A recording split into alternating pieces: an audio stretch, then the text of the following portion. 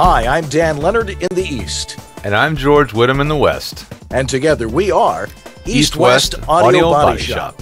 Well, the stars come out at night, and especially here on East West Audio Body Shop, we've had Tom Kenny and Tara Strong and June Foray and Debbie Derryberry and all these great people. Well, we've got another one coming up this Monday night, 9 o'clock. Emmy Award winning animation voice Maurice LaMarche is finally going to be here on eWabs, and we are looking forward to talking to him. He's a, an amazingly talented man. You guys do not want to miss that. I'm going to demystify ISDN and IP audio codecs. What is all this stuff? What talks to what? What's the next thing you should look for? Is ISDN going away? I'll try to condense all this down to about a 10 minute package that you guys can digest. God willing. And I'm going to be talking about something a little simpler how to properly set your levels. People keep asking me about that, so we're going to cover that in my tip of the week. I now have a highlight from the AES show that I just came back from out in New York City, so check that out. That's East West Audio Body Shop with special guest Maurice LaMarche this Monday night, 9 o'clock in the East and 6 o'clock in the West. And we'll see you there. there. He's the home voiceover studio engineer to the stars in Los Angeles, California. A Virginia Tech grad whose knowledge of the latest recording gear is second to none. He's a voice actor and the home studio master, hailing from Buffalo, New York. His home studio skills and knowledge of voiceover recording is unmatched. When Dan and George talk shop, people listen, and the talk continues tonight. Welcome to East West Audio Body Shop. And now, live from his high tech facility in Santa Monica and his penthouse studio in Buffalo, here are George Whittam and Dan Leonard.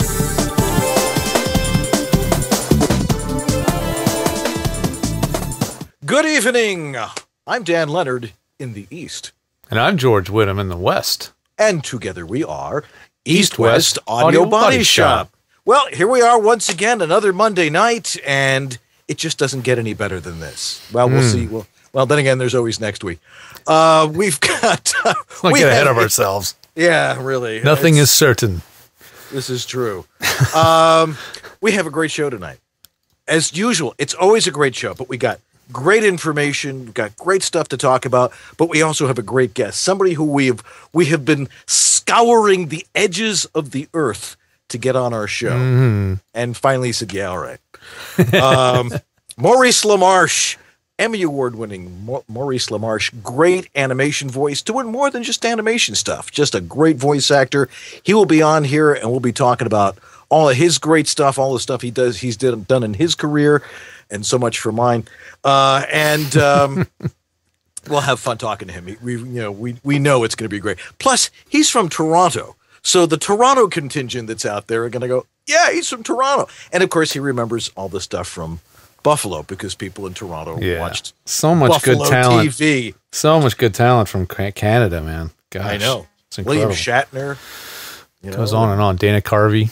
Dana Carvey and oh, uh, Mike uh, Myers. Martin, Martin, Short. Martin Short. It's just incredible. John Candy, who's Gosh, no longer with us. But so what a great what, comedians. What what is it about Candy? So obviously, it's like it's like uh, Barcelona in Spain. There's something in the water. They gave us mm. Gaudi and Picasso and Dali mm-hmm. and a few other weird guys. Canada gives us funny people. One after another. One after another. anyway, Maurice will be joining us in a little bit. Uh, but we got lots to talk about tonight here as well. Now, you were in New York all week. How did that go? It went great. I was at the AES show and I had a I had a really good time. Here I am riding the city bike in I'm not going to turn up the sound because the audio is just wind noise. But this is the this is the road leading into Javits Center. Well, this is like 35th Street, and it was totally torn up and bumpy as all get out. And I'm riding along trying to shoot video. It was hilarious, but uh, I had a lot of fun. I, I, I love riding bike. I love and I like the I like the adrenaline the adrenaline of riding around a city.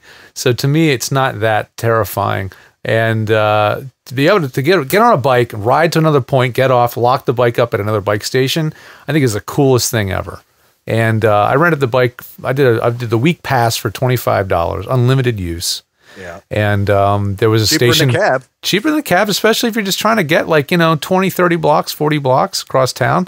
The right. bike is just as fast as a cab. Um, and they got some bike lanes now, and there's a bike parking depot right next here to the J- Jacob Javits. So I just right. ride on down and park the bike, and I'm there. It was Absolutely. it was a blast.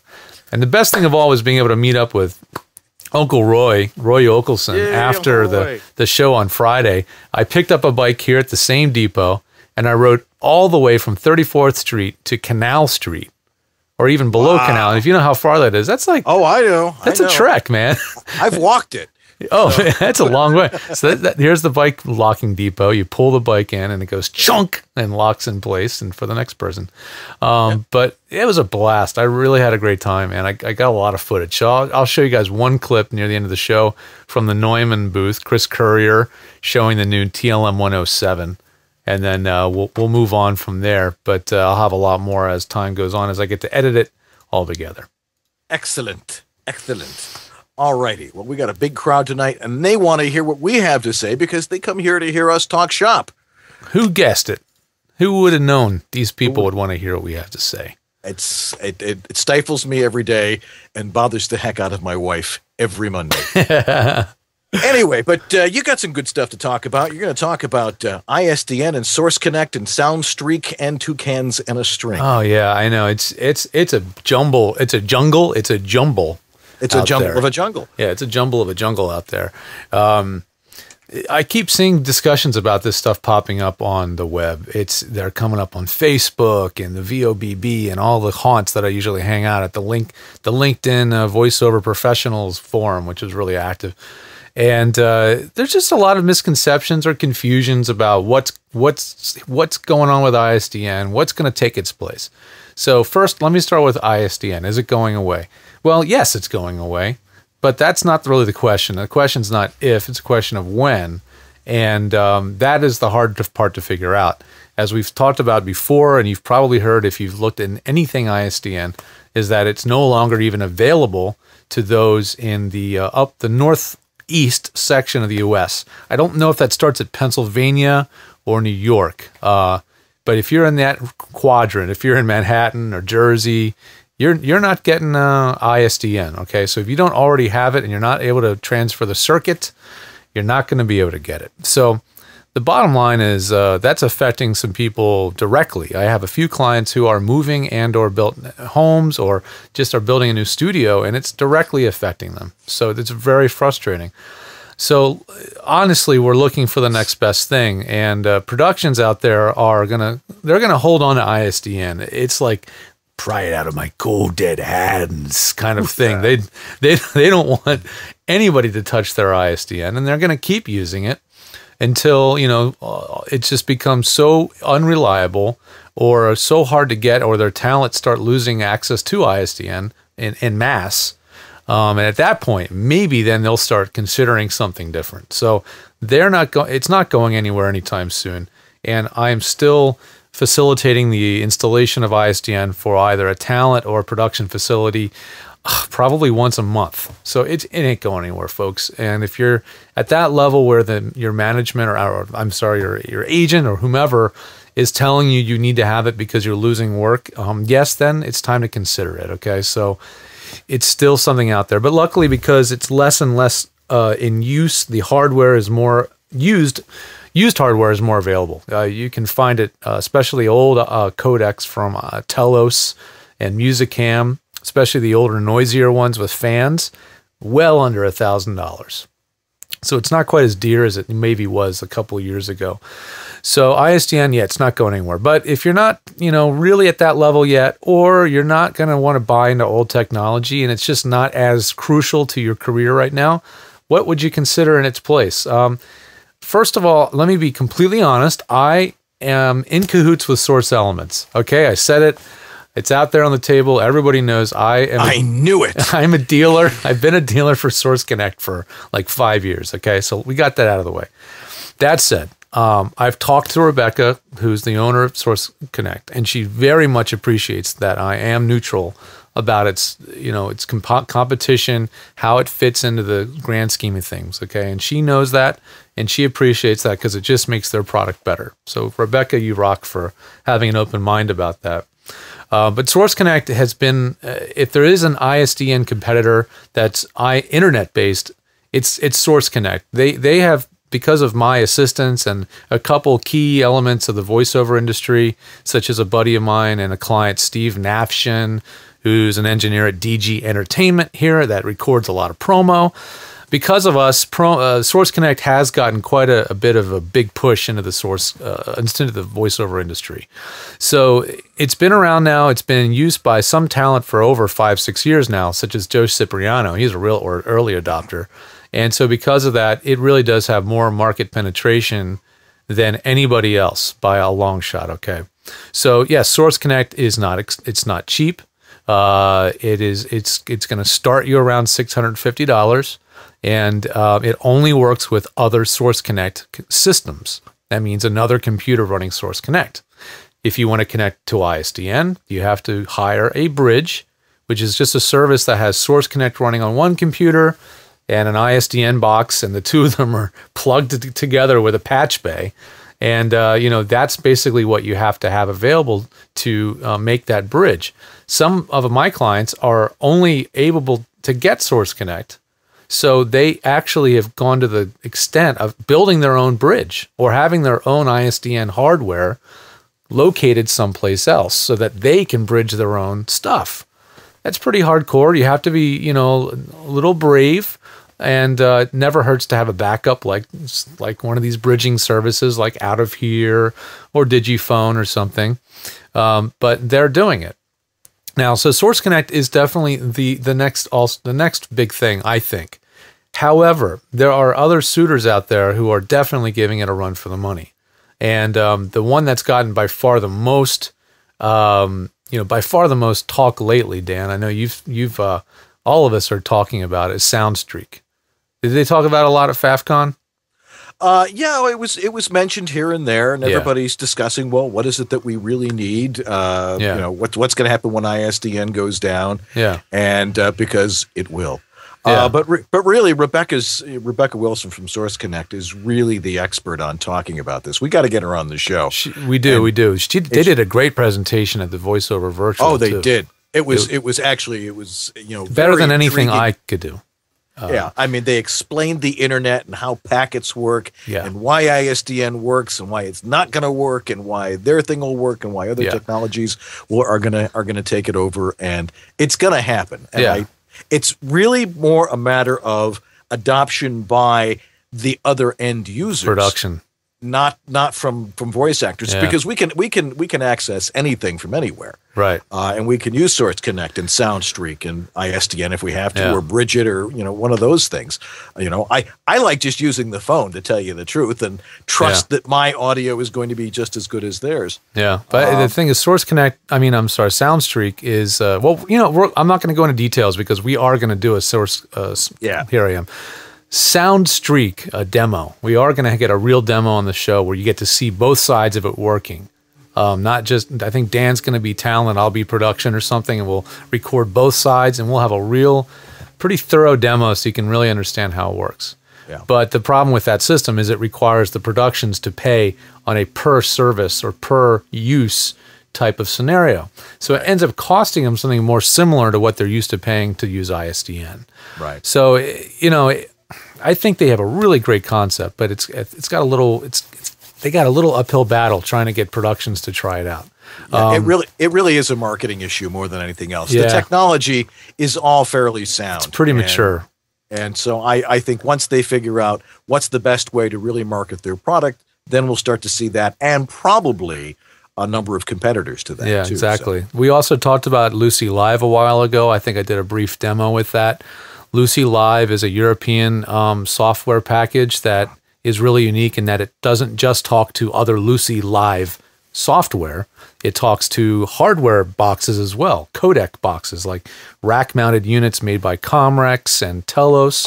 So if, if these things are in in place at a production facility you're working with, like a radio station or something, then you can go directly not only from a Mac or a PC, you can go directly from a smartphone or an iPhone or an iPad with Lucy and do a, a, live stream with your audio, and your audio will be just as good as the space and the microphone and the interface you're using. The computer is not a limiting factor there. So that is one thing that sets it apart, right, from Source Connect. And the ability to start bridging uh, over ISDN is going to be available. It already is. I know John, or um, I'm sorry, uh, Dave Immer from Digifon's already offering it and Steve Napshin at Out of Here will very soon, as soon as actually I install it. Uh, but it's uh, you know it's it's going to happen. It's just uh, it's it's a new service. The thing that really sets I think Source Connect apart so far is their experience in dealing with all manner of software glitches, network configuration problems, and they've worked really hard and invested in building a support network. Yep. And none of the other services out there seem to have that. Lucy and the other, and Lucy especially, Audio TX, they're kind of assuming that the user is a studio or a radio station, and it's being administered and and you know being used by a technical person to begin with, right? Whereas SoundStreak understands that their end users are not technical, um, but they've got to prove that their support is really rock solid and they can get you out of a bind if you have a problem at the last minute. I think that's where they're going to have trouble. One last thing before we move on from this. Um, one surprise uh, codec that may actually end up being a poor man's version of uh, Source Connect is uh, Google Hangouts. Um, we found out recently that the codec that Google Hangouts uses, they have a new mode. It's called Studio Mode. And uh, Studio Mode is remarkably good sounding because they, they turn off the compression and all the stuff that they do on a voice to keep a voice you know heard clearly over the background. And in studio mode, but they turn all that off. They assume you have got a you know you've got good audio, your levels are good. They broadcast it in stereo. I'm not sure what the codec is, but Frank uh, Frank Frederick, who's a bit of an expert in this regard, said that they're using this new Opus uh, codec, which I thought Source Connect, I'm sorry, Skype was going to be using. So this Opus thing is pretty pretty kick butt, and uh, I don't know if anybody's had any chance to experiment with it. We're going to do it at one of these time, one of these points, and play with play around with it. But I think it has huge potential um, because its audio quality is remarkably good.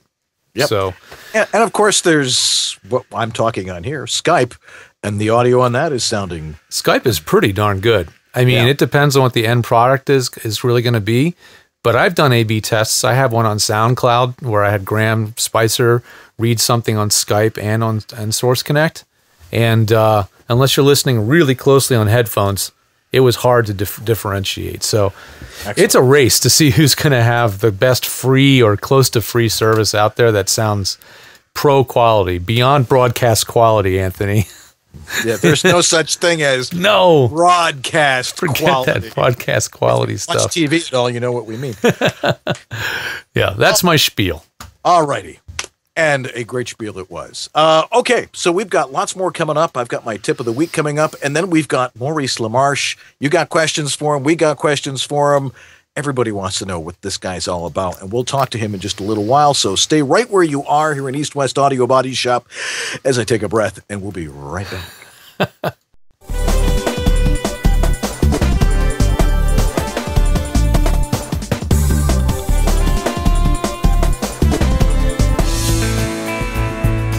Studio Tech. Recording made simple. Hi, I'm Peter McHugh. This is Jim Tasker from Los Angeles, California. Hi, this is Bill Ratner in Los Angeles. Hi, this is Scott Rummel here in Yorba Linda, California. Hi, my name is Rick Wasserman. Hi, this is Tom Kane. Hi, my name is Vanessa Marshall. Hi, my name is Zurich. Hi, I'm Mary McKittrick. Randy Thomas chiming in. Hi, this is Joe Szymanski. Hey, this is Rick Robles. Hi, my name is John Patrick Armstrong. I was turned on to George by none other than Don LaFontaine, who always swore by his health. George is absolutely awesome. ISDN, Source Connect, Phone Patch, FTP, you name it, Georgia set it up. It's really the best thing I've ever done for myself. I feel free, safe, fearless, like anything is possible in here. Unless you like to look for opportunities to waste time, call George. And he did all of that long distance over the phone and the internet. I'm very happy with George and uh, I cherish him. Thanks, George. You make it easy. And now back to the only webcast done with two cans, two geeks, and a string. East West Audio Body Shop with George Whittam on his end in the West and Dan Leonard in the East. All right, we are back here at East West Audio Body Shop. not technical difficulties in the background. I think we have child difficulties in the background. Oh yeah, but, but that's that's part of the charm of doing this yeah, show. it's a home, it's a home It's- show. It's a home show, you know, and it's it's it's reality TV. This is the ultimate reality TV because we're just you know we're the we're the house husbands of uh, of Santa Monica and Buffalo. uh, but anyway, um, welcome back. We get still got lots to talk about here. And by the way, somebody hit forty last Friday, so we all have to give a quick uh, happy birthday to you, to Mister Whittam there. Thank you, thank you. And how does forty feel to you? This is 40. Just watch that movie. That's pretty much right. No. that that movie, I identified with that movie other than the fact that those people lived in Brentwood in a big house. Uh, other than that, I, I had a lot of that stuff definitely hits close to home for sure with the kids and everything. But no, it feels good. It feels it feels good. It doesn't feel all that different. Everybody keeps telling me 30's the new or 40's the new 30, and I believe them. I believe I, this definitely is the best year uh, years ahead of me for sure. I I'm excited. certainly hope so. But thanks for all the wishes, well wishes, and the happy birthdays. And I even got extra ones because my Facebook page said that my birthday was on the 10th or something. So I got a whole bunch that day, and then I got some on the view. It was great. It spread it out over like 10 days. So it's been, it's been wonderful. Thanks again, everybody. I really appreciate it. All right. Well, let's get into something else technical, but not Yeah. te- technical. I mean, it's technical, but I don't want to talk about it in a technical way. But it, it has to do with with levels and and and. And, and it has to. All right, that's not exactly the way I, I wanted that. It looks like a VU meter. It, I mean, sort of. But the thing is, is people don't even know what a VU meter is unless they were in radio Right. or they or they had a cassette deck.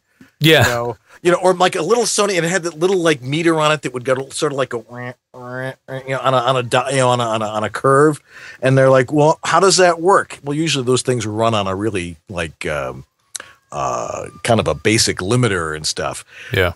We don't want to use those things in voiceover. We want to capture our voices as natural as possible, using using our proximity with the mic and the environment in which we're using it to our advantage, not using electronics. Capture ourselves as we exist. And to that end, we have this week's tip of the week. So let's stream that beautiful footage.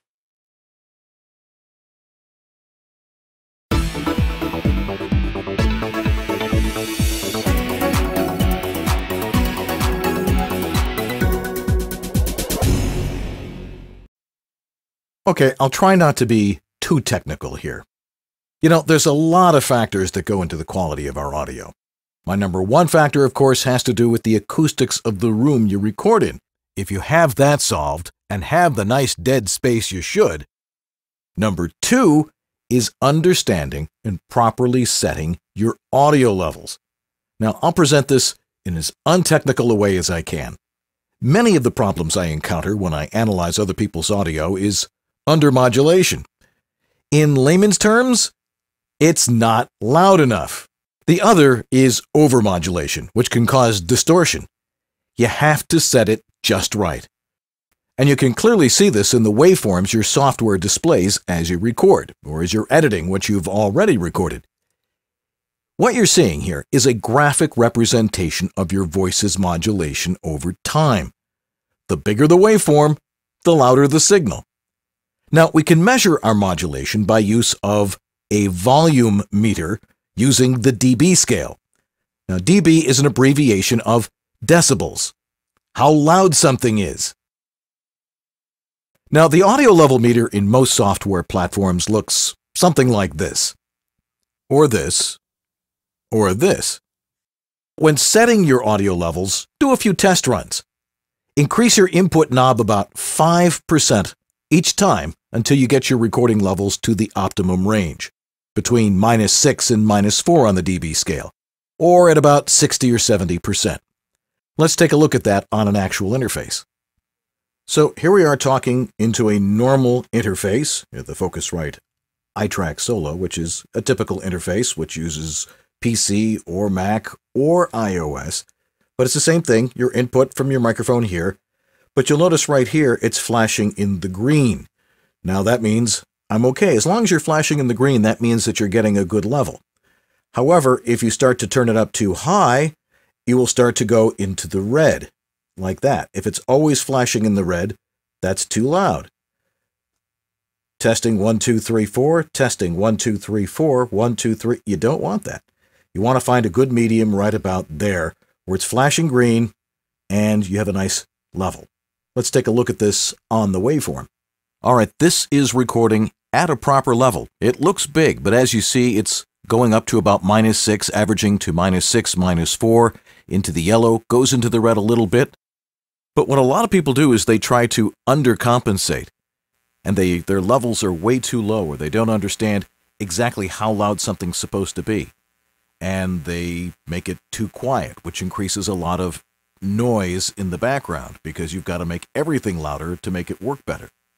And then there's some people who just don't understand the levels at all, and by doing this, they're distorting their audio. So you need to learn to get your audio down to a proper level, which is about there. And if you get too loud, just learn to back off the mic a little bit. If you get too soft, just get a little bit closer, but you'll see that it maintains the same consistency and same average. So in short, using that level meter, set your levels right. Green, good. Yellow, okay. Into red, okay. Always red, bad. And that's my tip of the week.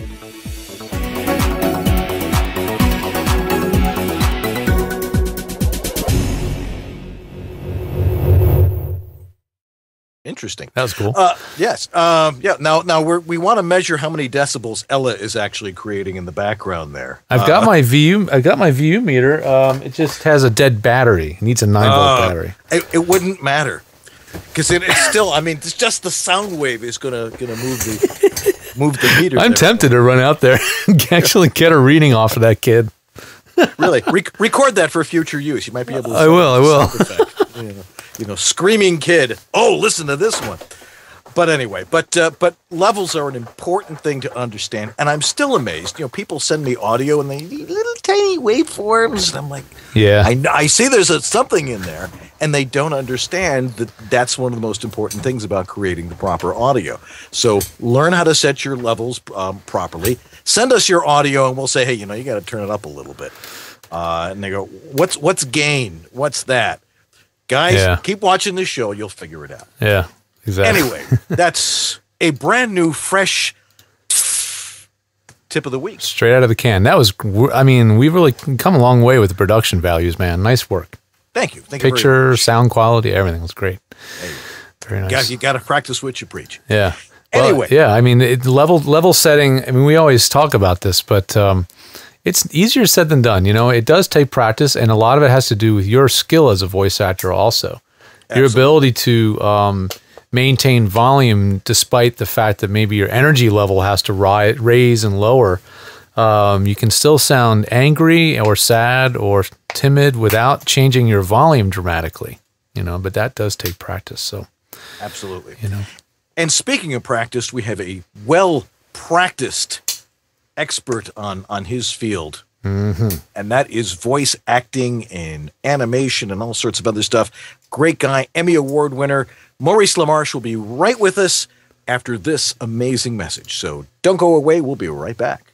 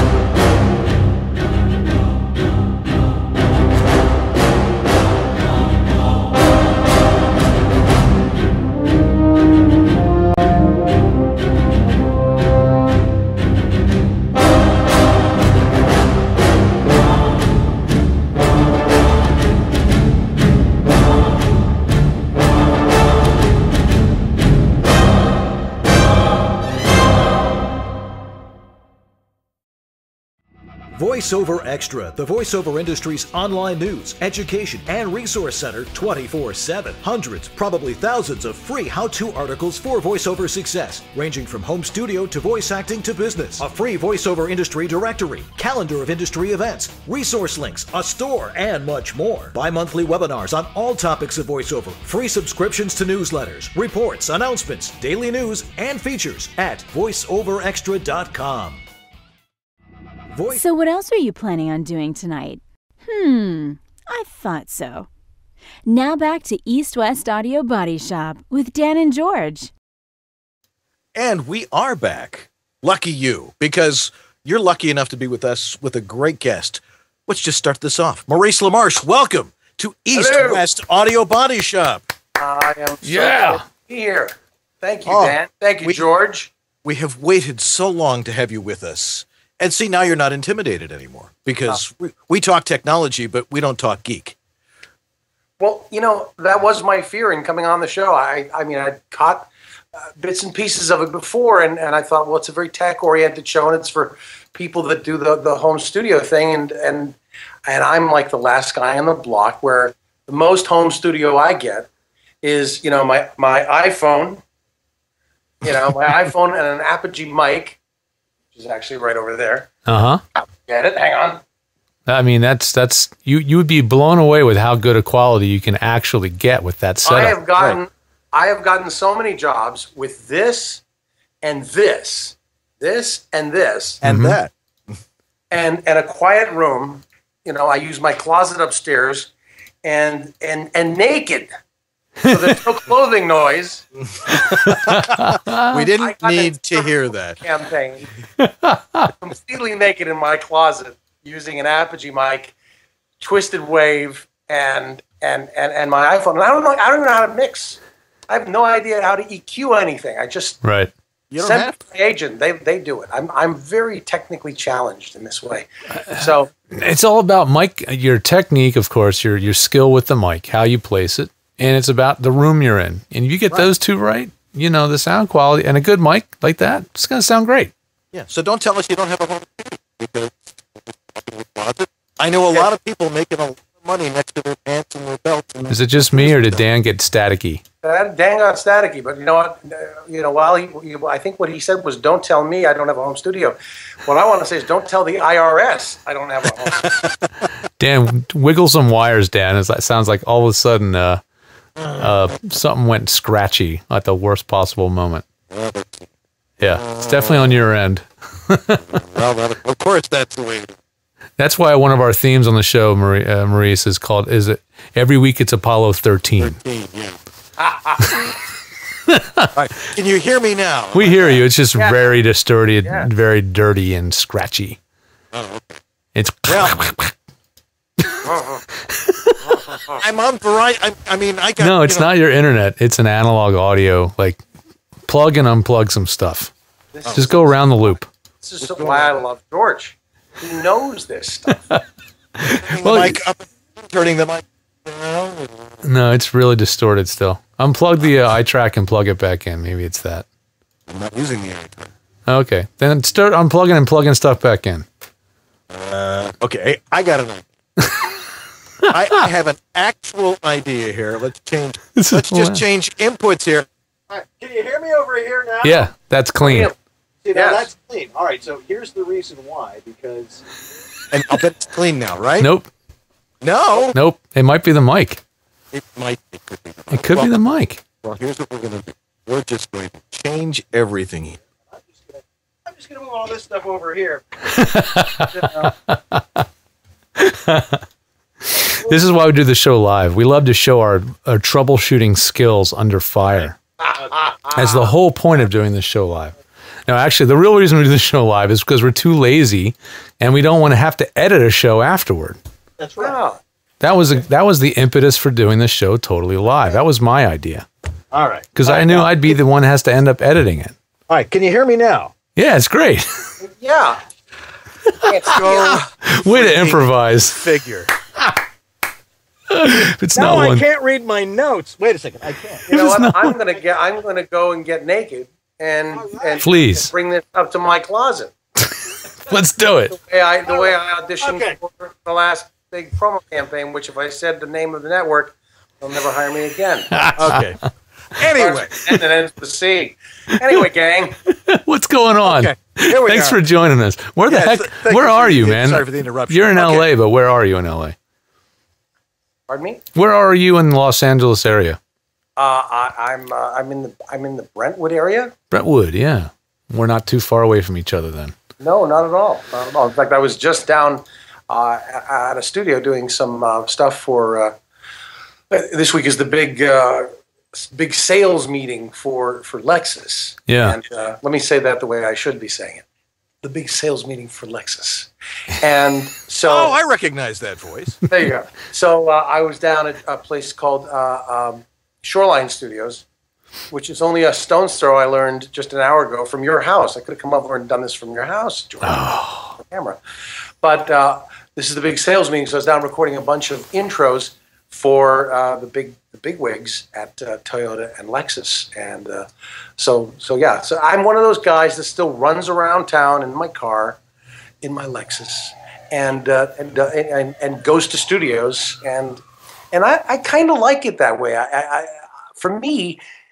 I like to interface with an engineer. I like to, you know, make eye contact with a creative, so I can really tell what he wants from me, you know. And and uh, you know, sometimes a little a little simple thing from from the director that you know a little look like don't worry it's not you it's it's it's you know the writers or whatever you know whether it's a cartoon a commercial. For me that's that's how i work best you know eye to eye.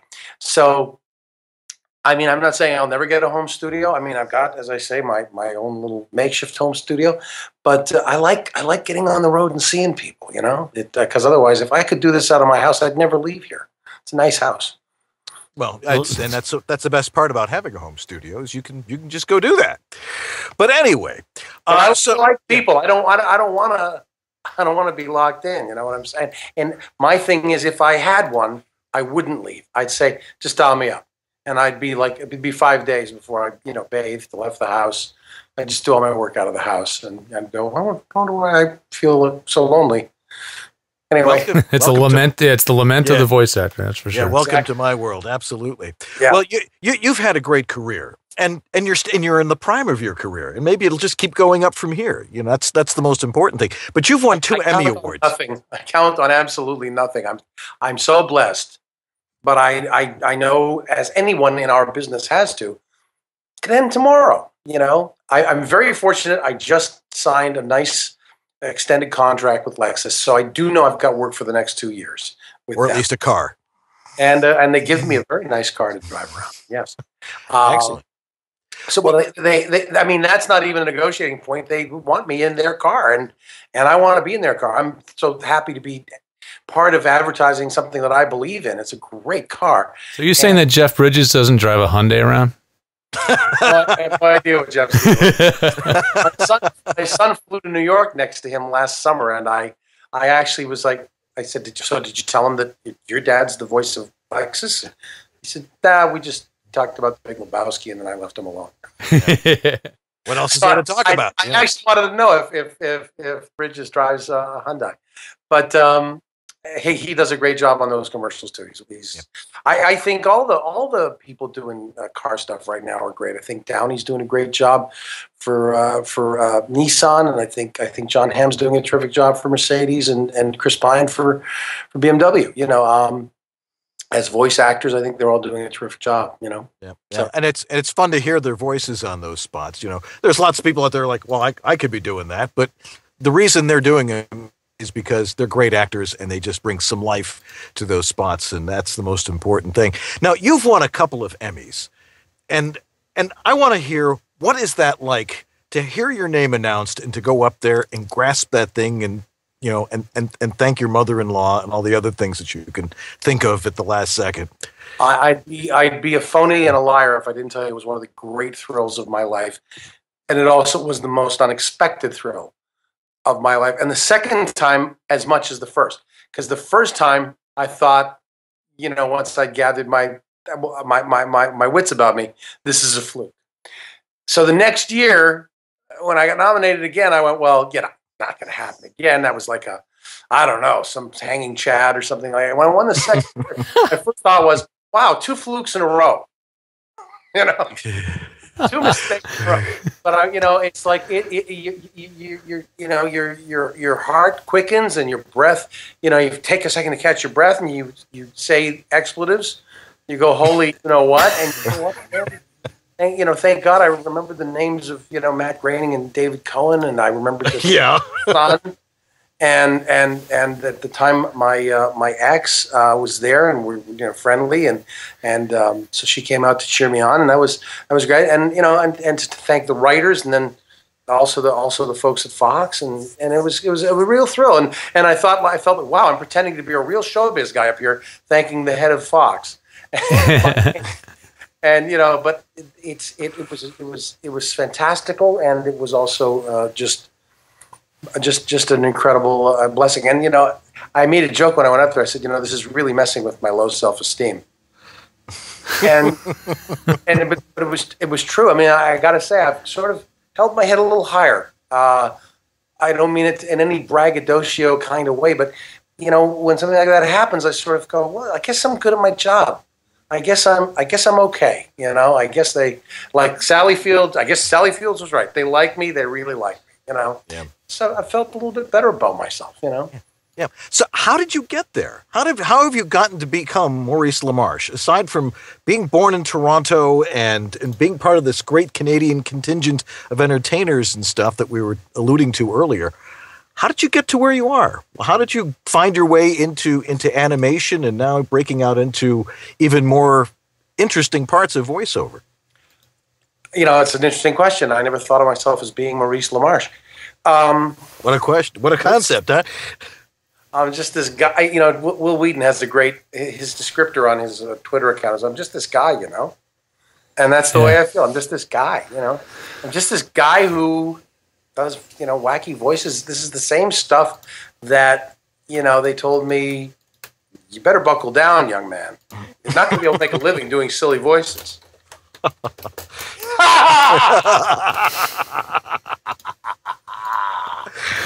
okay, now that we got that out of the way, really it's hard work. It's feel better now. No, I'll tell you. All kidding aside, the day that and and I I know it sounds like I'm jumping on the heels of a recent Bryan Cranston um, video that's making the rounds, but this I took this on years and years ago. There's a wonderful director who used to be a stand-up comedian. His name is Mike Binder. He's a Detroit guy, and uh, Mike, when we were comics together, told me, don't go out there to have a good show. Because I was pacing backstage. We were appearing together in Vancouver, BC at, the, at Punchlines Comedy Club. And I was pacing back and forth. And he was like, "What are you? What are you so nervous about?" I said, "I want to have a good show. I want to make sure I, you know, do all my my stuff." And he said, "Don't go out there and worry about having a good show. Go worry. Go out there and worry about helping those people take what you the, the god-given whatever talent you have and go out there and help those folks. There's a guy somewhere in that audience who had a crappy day at work today. You take your talent and you help him have a laugh today so he can forget about you know all the crappy thoughts he's having about quitting and you know maybe his wife's ready to leave him. That's what your job is. And when you go on an audition for a commercial your job is to make the casting director's day a little better. Your right. job is to help. And so the day I adapted that, I started working. I know, and Cranston says the same thing in his video, but I swear to you, I've been saying this for 20 years.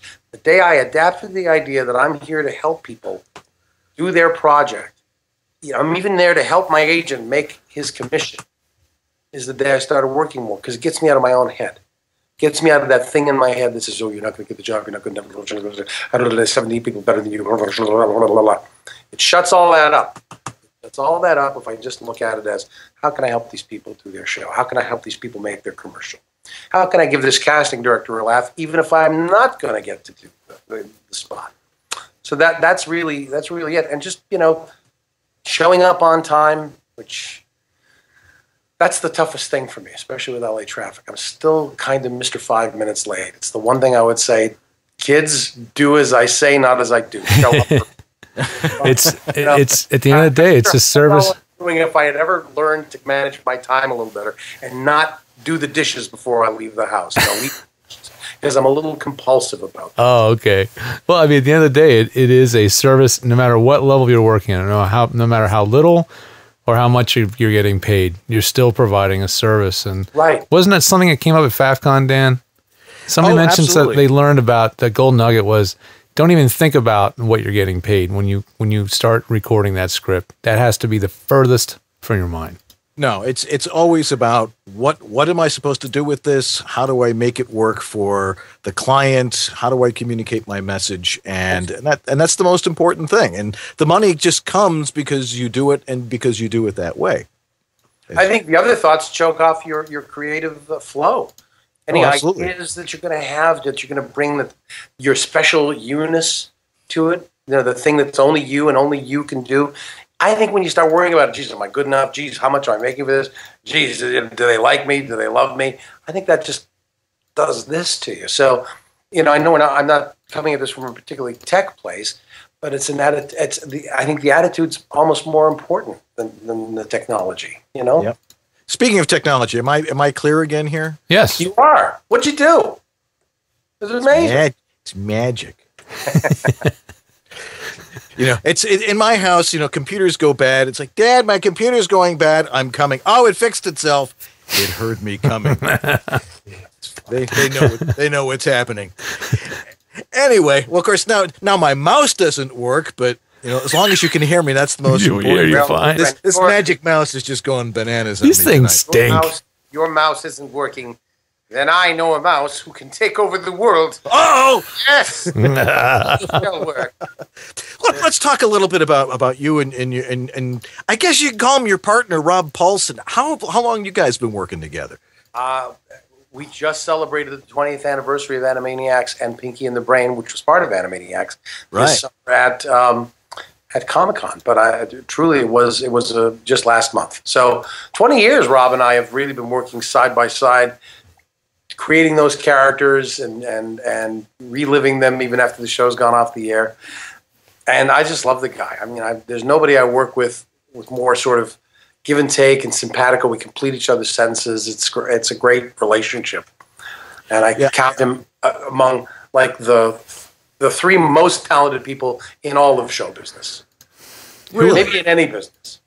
Wow. Who was cast first on uh, on the show? Let's, uh, according to what I've been told, although recently something popped up on the web that said they wanted Patrick Stewart. Um, for the last 20 years is I was first and only choice for Brain, and then they they took an entire day of auditions, and then Rob auditioned the next day. I think he was first on day two, and they went, "We found Pinky."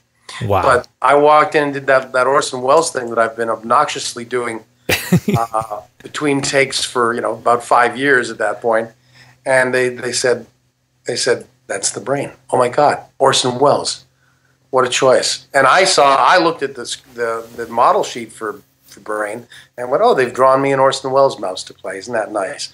Not based on Orson Welles. Brain was based on Tom Minton.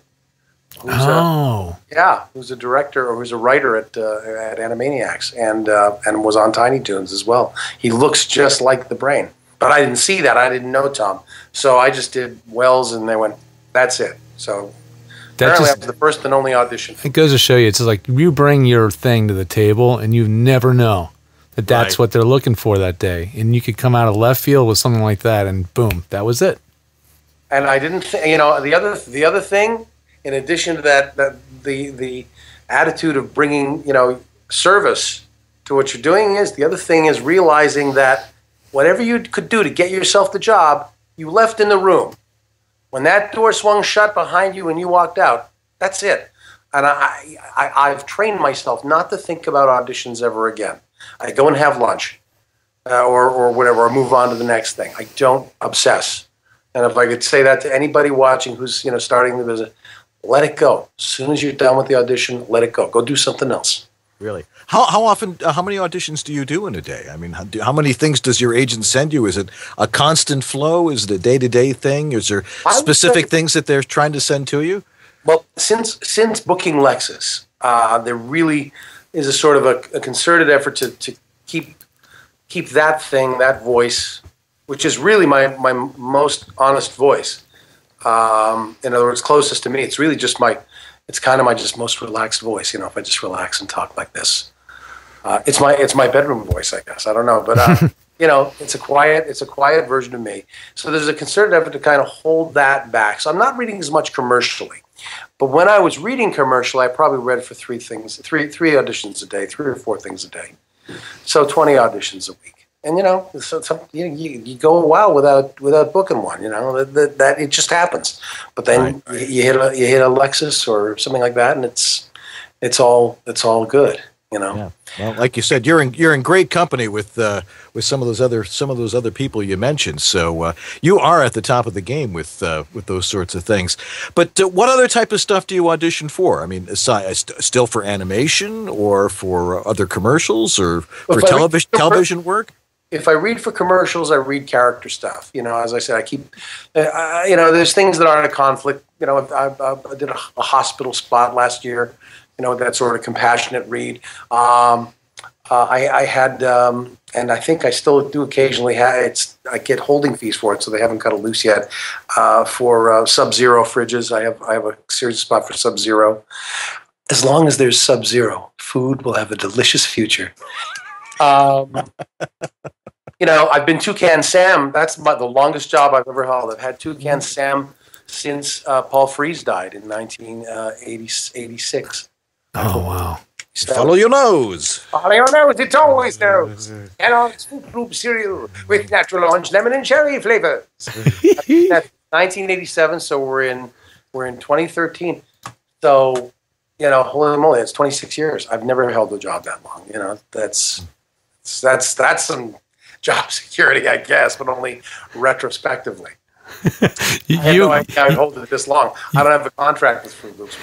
You, you and Pat Duke and all the other people that play like cereal and food mascots should right. do something together. He's the Kool Aid man. I don't know. I think it could be something really funny, like the Teenage Hunger Force type. I don't know, something That's like funny. that. That is really? funny. They tried to do a, a Toucan Sam uh, cartoon show pilot once, and Jason Alexander and Wayne Knight played two hippopotamuses. This oh, was a Seinfeld. so uh, you know, it, it, didn't go anywhere. Oddly enough, it was about uh, Toucan wanting to uh, to uh, promote healthy eating with the kids. So yeah, who would have guessed? Yeah. Yes. well, I'll tell you I, this though: Froot Loops yeah. is actually they're lowering the sugar content little by little in Froot Loops every year. Yeah. Imperceptibly, so it's it's less and less sugar every year. That's good, but not the flavor. That's right. It's training. It's taste bud training. That's right. You just have well, to follow your nose. That's right. well, we've we've got we've got lots of questions from the audience. Unfortunately, I can't see any of them because my mouse is dead. All right. Well, I'll, I'll be happy to field the questions while I go find some batteries. No problem. I'll be right back. No problem. Go do that, and I, I will uh, run. Get batteries. See, I've got I've got a USB mouse also plugged into my computer. See, I'm I'm always prepared. so you're, you're you're wired in. No, I, these I love these little magic mice. These smooth plastic topped uh, magic, you know, thing by Apple. Right. They, they, work wonderfully, but yeah, they're they're flaky. I don't know what it is. So you got to have a USB mouse around. No, no, I know. That's what I'm saying. You plug right into the. Computer. Yeah. So um, a couple questions that uh, sure. have been flowing in. We've got a couple good ones, and if one of these is something you've already answered, just say I already answered that because I haven't been listening. Um, I already answered that. Okay? um, first, we have to Tremaine Kendrick Mosley. He says, "How's it working with Rob?" And had there been any discussions about new Pinky and the Brain episodes? And can you tell us without having to kill us? Well, as as as, as I said, working with Rob has been and always will be a pleasure. We, have started doing these evenings with Pinky and the Brain. Uh, we've done one or two of them around. Uh, we were in uh, Atlanta, and we were doing a Comic Con there. Uh, oh, like a live live stage. Uh, we, did, we, we just did a we did an evening. We showed episodes. We we sang, we danced, we did a live reading. We, we, we took out the, the script for You Said a Mouseful, which is the tongue twister episode. Mm, and uh, we, we played half the episode and then we brought up people from the audience to be in the episode with us and we just read with them like a like a oh, radio cool. Play. Jeez, that's so we've had a lot of fun. Rob is a, an incredible creative force. Yeah. And uh, he's doing his own series of podcasts now called Talkin' Toons on iTunes. They're great, yeah. Find it.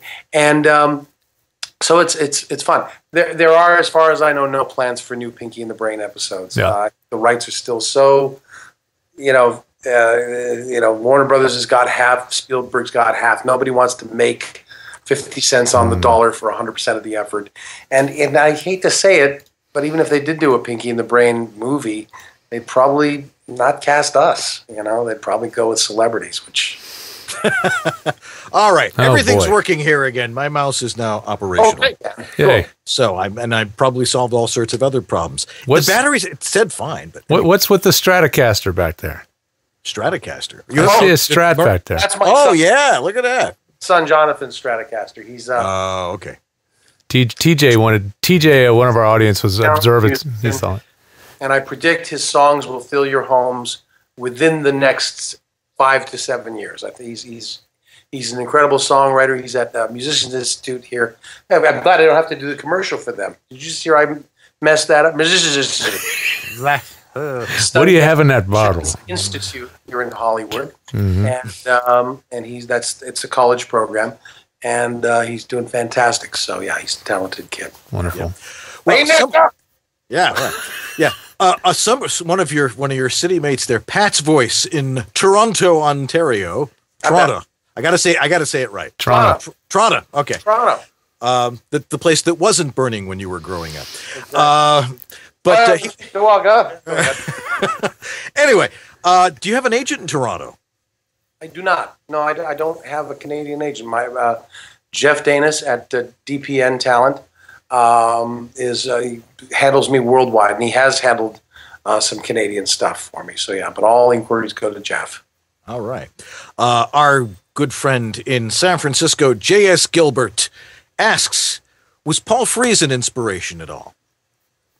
Well, Frees was an inspiration in that uh, he, he, you know, I mean, I loved his Toucan Sam. I mean, I remember, I remember them when I was a little kid, you know, and so that whole follow your thing, I, you know, I, I, I was, I was so sad when he died. I got to be in his second last uh, Froot Loop spot. I played, actually, I played a Doc Brown kind of character.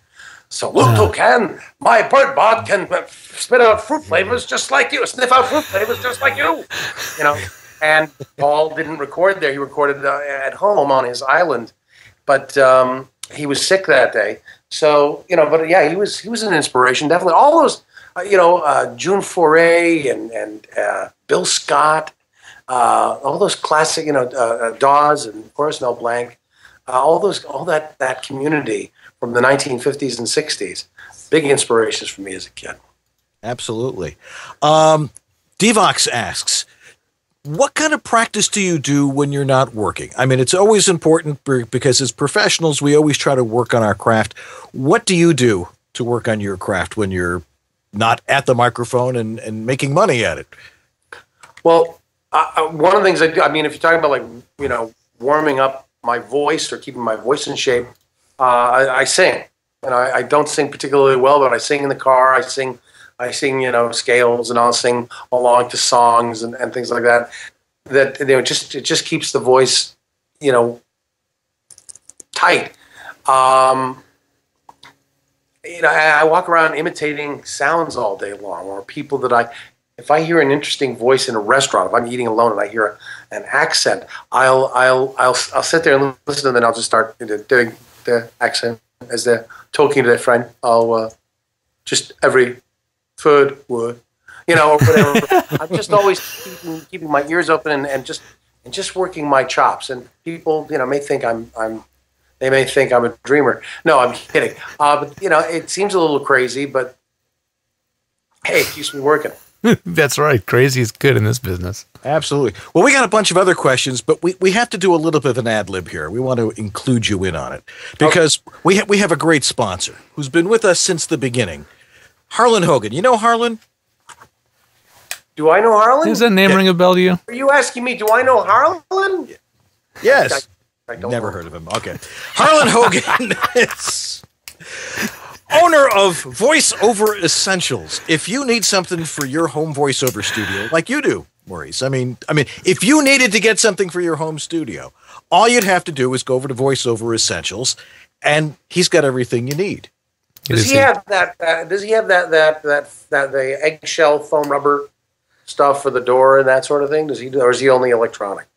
Well, no, he's got- he can you can get access to anything, Yeah. anything you need. I mean, if he doesn't have it, you don't need it. Yeah, Anything I need. acoustical treatment, uh, microphones, porta interfaces, porta booths. porta booth, the, the porta booth. You have a porta booth? The porta booth. Yes, I don't have one, but I know what they are. Okay, well, that's Harlan Hogan invented that, and you can you can get that at VoiceOver Essentials. Bet you now Now, you where- didn't know that. Now you know to go get one. How do I find VoiceOver Essentials? Well, all you have to do is go over to voiceoveressentials Dot com. That's what I needed to know. The dot com, because he could have been a dot org or Yeah. dot net a dot net, or but dot he's dot com, Jerry. or dot All right, ca. Dot ca. But Thank- anyway, It's dot com, George, not a dot net. Okay. Anyway, but uh, if you need that kind of stuff, whether Maurice needs it, whether John Hamm needs it, whether anybody needs it, you can go over to voiceoveressentials.com where he's got the porta booths and he's got he's got the uh, the the uh, Harlan Hogan VO1A voiceover microphone That's designed right. for voiceover, fabulous, and of course the Harlan Hogan signature series headphones. But not just his signature series stuff. You can get all sorts of other stuff. But we really want you to go try the Porta Booth, the Porta Booth Plus, the Porta Booth Pro, and now the Porta Booth Plus, which comes with this More great, great carry case. more pluses. More pluses because I took I took this down to down to Florida last week, and my my my 416 fit perfectly right in here, and uh, you know, and then all my other stuff fit in over here. It and I had a Porta Booth that worked great. How well did you do closet. through security, man? I just came through security in uh, in uh, in New York, JFK, I and they learned- they gutted my bat, my suit, my case, which is full of equipment. You know, I, I- just gutted the thing. I well, I actually I actually checked it through in my suitcase. This thing actually fit in my suitcase. Impressive. Impressive. And of course, when I opened up my suitcase, impressive. Yes, I, I actually when I opened it up to get some some cords out, I found a little note from TSA saying, "We looked in here." So That always creeps me out, man. yeah, well, I, you know, I don't I don't keep any of the the nasty stuff in there, so it really, really didn't bother me. But anyway, you keep the nasty stuff down.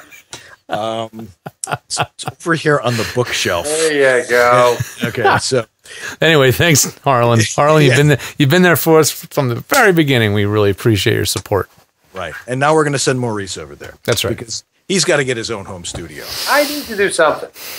You're the man. Well, you, you do have your closet, and if it's working for you, go for it. As George and I like to say, But occasionally I want to come out of the closet. So this is good. that's that's But why I'm the same way. But Exactly. it's, as George and I like to say, nobody needs to see where they make the sausage, That's right. only what it sounds like. Should we nail through a few more questions before we, We uh, should. What Before Maurice turns into a pumpkin.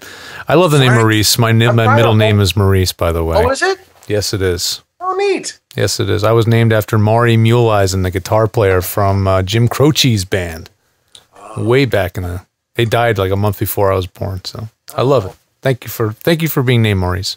Was he, was he um was he a friend of your, your folks or something? My uh, aunt, my aunt, uh, dated him when I was pre in utero. You know, in utero they were dating. So right. yeah, And that's oh wow. where'd you get Where'd you get Maurice? Was it a family name? No, I, my, I was a but my my parent my father. Yeah, well, okay. Blah, blah, blah. Sorry my to throw you a father was actually Maurice Guy LaMarche. Huh. But and in fact, there's a baby picture. It's a sepia tone baby picture from 1934, I think, that has Maurice Sisson, uh, not Sisson, Sisson. Uh, what's what's the French for month?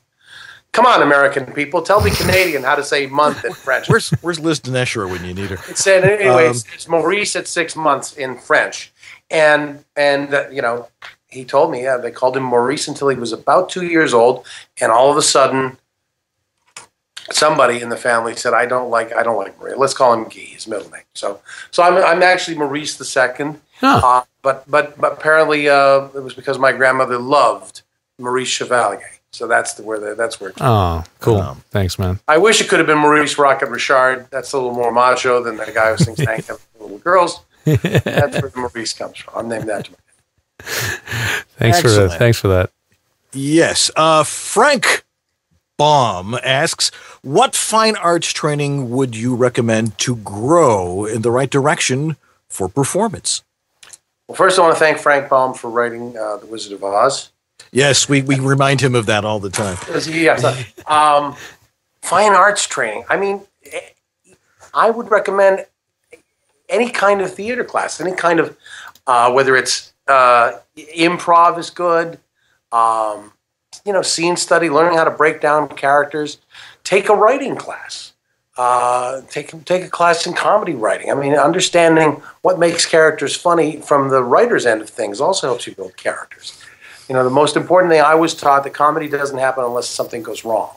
So you always need to find that thing going wrong, both externally and internally, with the character and his reaction to it. Um, but any and all acting classes, because voice acting is acting. We're just not worried about the hair, lighting, makeup, a little bit about hitting the mark in terms of like you know distance from the mic. But you know, it's just it's an acting job without all the extraneous BS. You know. Yeah. Actually, very true. Uh, Sandy McKee asks, what character would you love to voice? That I haven't. And and, and, yeah, and, and then dovetail onto that because Tremaine Kendrick Mosley also asked, "What part did you miss out on that would you have liked to have gotten?" It's a, it's a two part question, Mr. Hmm. I, I try. I mean, I so try not to dwell on in you know any kind of Yeah. regretful musings. Um, Yeah. I came close. I'll tell you what. I came close on. Well, I don't know if I came close. I think I did the best audition of my entire career for the Batman, the the show that ended up starring Rino Romano as as um, young Bruce Wayne in his first, you know, when he first began his career, and the the breakdown specifically said, "Do not do Mark Hamill's Joker." And I probably went to like this. I, I decided to just really use my acting chops and go to this dark, crazed place of loss and and and just you know decide I decided the Joker had an even bigger tragedy in his life that made him snap that that was bigger than Batman's and you know it was, it was almost a lectorish kind of read I, you know and and I was really proud of that audition. I thought I did a friggin you know motion picture audition for this cartoon show and it didn't go to me. You know i went to kevin michael richardson and i love kevin and he did a great job with the character all, all and and and that's and that's great. But that's the one where i just sort of i wanted that part. I wanted to play the joker and i wanted to play him real scary real dark and real and yet funny. Um so i guess that's a you know it's a it sort of answers both questions really Really? Have you done any video games? I have. In fact, I got to do a Batman video game, uh, uh, the, the uh, Arkham um, Arkham City. I played uh, played Mister Freeze. I succeeded the late Michael Ansara uh, as Mister Freeze. So um, he he was a, he was a very robotic kind of sound. And make no mistake, Batman, this does not make us friends. You know, everything to him had that certain chill. That is chilly. You know. I, I f- I find it fascinating. Mr. Freeze is always German. It was like I remember on the TV show it was Otto Preminger, right? And then in the movie it was Arnold Schwarzenegger. Yeah, yeah. Uh, they, so- us, they said stay away from that for this for this version of him. So I really tried to stay close to Michael Ansara's thing. Um, so you know that, that was not this to him. It was simply this: a soft spokenness and a sense that all I want to do is save my wife Nora. You know, so he's actually a sympathetic villain because everything he does, every crime he commits, is to get the resources so that he can cure his wife and take her out of the cryogenic state that she's in. Right. So I, you can't hate Freeze too much. This is true. This is true.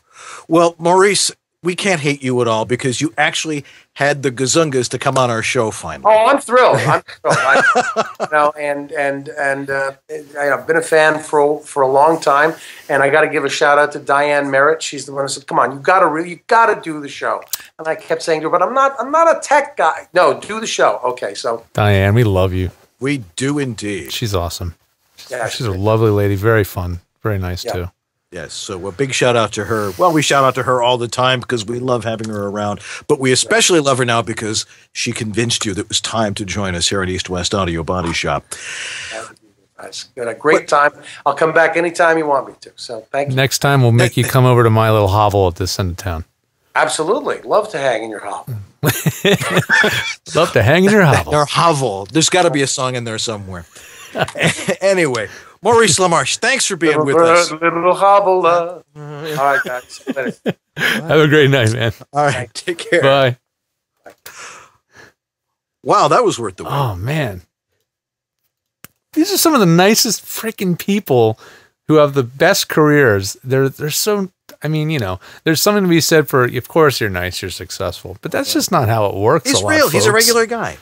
I know a lot of very successful people in this business, and they're not like Maurice. I mean, that's just um, what a great guy. It's that Toronto thing. All the people from Toronto. Yeah, it's Canadians. I know. Yeah. So nice. See, but see, I, I live close to Canada. I can almost spit on Canada. Canada adjacent. That's right. Five miles from here.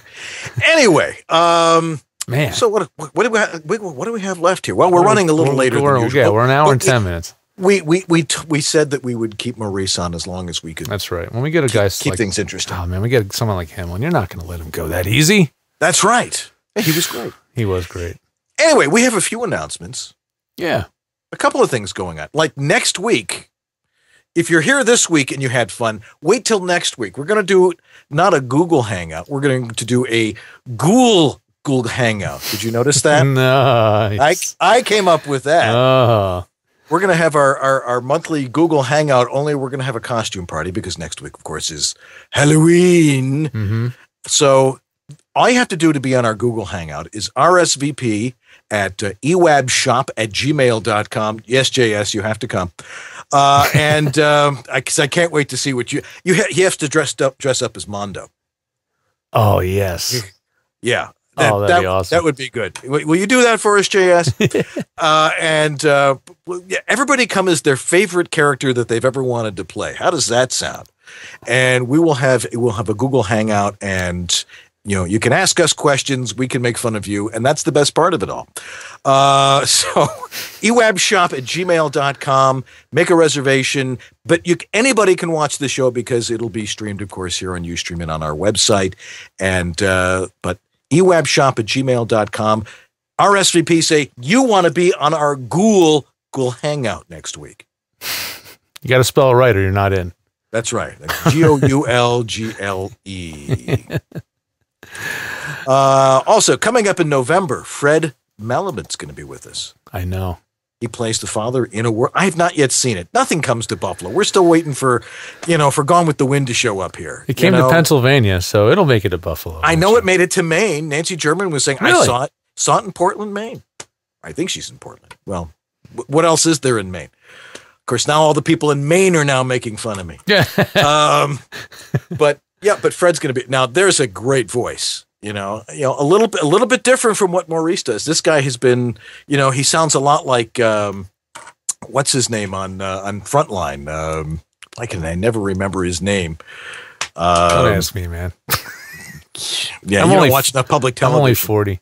No, actually, Right. public, public TV. Yeah. Right. Somebody, somebody will put, put it in the chat room who I'm talking about. Yeah, But somebody, somebody be our a- brain, please. Right, a very recognizable voice, Fred Melamed and uh, Will so- Lyman. Will Lyman. JS came up with it. I knew it was Will something or other, I could not remember the, you know, but I knew that. I've been watching Frontline for years. Anyway, we have to get Will Lyman on the show too, because, you know, but anyway, Yeah. Fred Melamed's going to be on the show. He's going to be great because he's a, he's a fun guy and and he's and he's been hitting Facebook a lot lately. He discovered Facebook and now we can't get rid of him. Yeah, I know. So uh, And he's one of the few voice actors we know that, you know, is on screen a lot and sometimes even more so than voice. So, you know, we can Right. kind of hear how that works for him. Absolutely.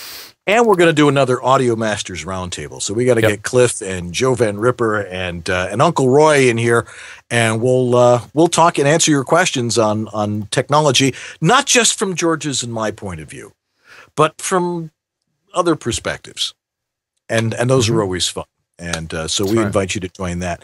Uh, what else do we have to do? We have to thank our donors. Eric Aragoni, we love you, man. Yeah, the guy, he's he's like clockwork, man. He can set a watch very fine, very kind I, of you, Eric. Thank you. We really appreciate it. It is a big help. In other words, we couldn't bring you people like you know Maurice LaMarche and Frank Melamed and uh, Fred Melamed and and and and all these other great people we've had on. Uh, also, um, we have to thank Harlan, Harlan, the H two guy, uh, who, who's now going to put Maurice on his website. Uh, because he wants a porta booth. Uh, Guess who's going to get a porta booth in the mail pretty soon? I'm sure he will. Uh, our, our friends at Edge Studio, uh, and of course, um, so voiceover essentials and uh, and voiceover extra. You know, you can still go to voiceover virtual. You still got another month. You can yeah. still sign up, and you can still see the 50 fabulous presentations at voiceover virtual. Do I not gotta, miss it. I got a lot of catch up on uh, over there. Actually, there's some stuff you know, I want to still want to watch. I know, and, and there's some stuff. You know, I've seen it also, but I can tell you, go watch it anyway. But I'm also going to be doing a, a night there, probably the same night as we're doing stuff with uh, AirTurn. Our good friend Hugh Sung is going to be on, and I'm going to be on too. Oh, cool. Talk, talking about Studio Suit. So if you have questions about Studio Suit and want to see it demonstrated, we're going to do that in a couple of weeks. I think it's like yeah. No, November 10th, I think we're going to be doing. AirTurn is one of those products that you you you go to a trade show to find a product like that. You know, I went to NAMM show and I found found him in the basement of the NAMM show. And if you've been there, the basement's the you know where the oddball products, the less known, the smaller companies, you know, go. And that's I found him down there. The next year he was at the Voice convention. You know, yep. and, and and now it's an awesome product and he's a great piano player too. So we got to oh. get him on to play piano for us. Yeah, absolutely. Uh, and speaking of shows, you still have some video from AES. I do. I do. Speaking of trade shows, I threw one up uh, for you guys to see. It's a shorty, um, but there was some discussion about the new Neumann microphone. Uh, so I figured, well, let's let's feature that one tonight. Let's give our friends at Neumann a shout out. Chris Currier, really great guy. He's the rep from Sennheiser Norman, Neumann that does all these trade shows.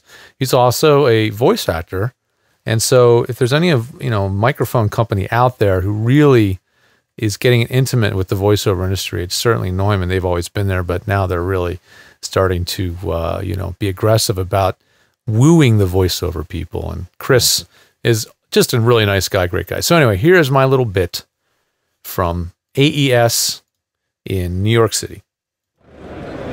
This is Christopher Currier here at the 2013 AES, and we are very excited to be showing off a new Neumann microphone.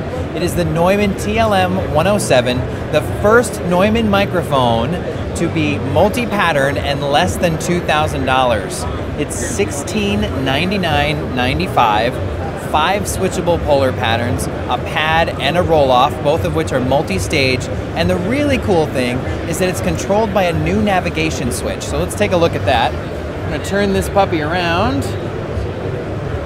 And here's our navigation switch. You press that to engage, and then go to the left to adjust your pad, go to the right to adjust your roll-off, and then up and down adjust your polar pattern. Another cool thing for voice actors in particular is that this capsule was designed with a bunch of cool things in mind. One of those is an increased resistance to harsh S sounds, so you're going to get a lot less sibilance. And then also, the capsule was designed so that it is much more resistant to humidity, moisture, and dirt.